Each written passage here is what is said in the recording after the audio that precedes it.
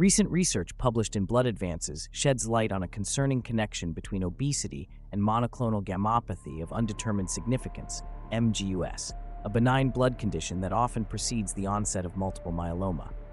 Multiple myeloma, a serious blood cancer affecting plasma cells, remains a challenging disease to treat, often diagnosed at later stages.